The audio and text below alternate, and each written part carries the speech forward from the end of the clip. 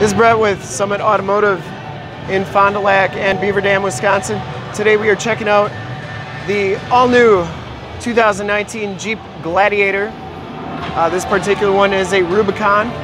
They got this one all gated off on the glass here in the spin table, so I'm just going to do a quick walk around on this one. I wanted to get this one pictured and videoed just because it's uh, it's got some dirt bikes in the back of it.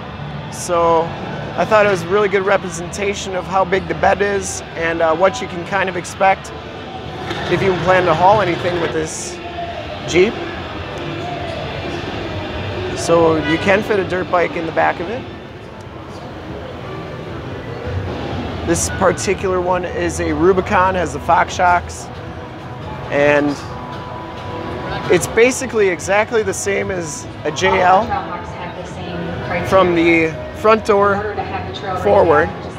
It's pretty much exactly the same as a JL. And then everything back is the Gladiator. So the box, the doors are different, the back top piece is different, and that back top piece does come off.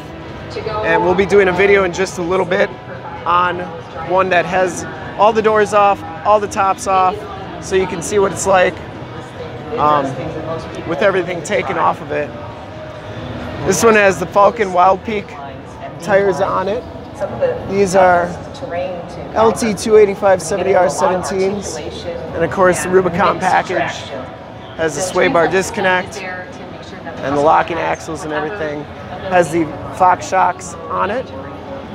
The system itself has the LED bed or the LED running lights, LED headlamps, LED fog lamps, red tow hooks. This one has the metal bumpers. For someone who needs one vehicle to do everything. LED lighting in the bumpers as well. It has great steering and handling. Same Rubicon stickers on it. On-road or off-road, you don't know the difference. You get, you can go straight from the road to the trail. You can go off, drive on rocks. Not sure if this is pumpkin or an all-new orange color. Kind of looks like pumpkin. It looks a little bit brighter than pumpkin. Not sure. They don't got a sticker on this one, so um, we're excited to get them on our lot, and uh, they will be at our dealership very soon. And we recommend everybody that's in the Fond du Lac area to come check us out at Summit Chrysler Dodge Jeep Ram. And for everybody else that wants to check out more videos, uh, you can go to youtube.com slash Summit Auto. Remember to like, subscribe, and share on this video and all the videos that you see there. And uh, we'll be here at the auto show later today, as long as today lasts for another half hour.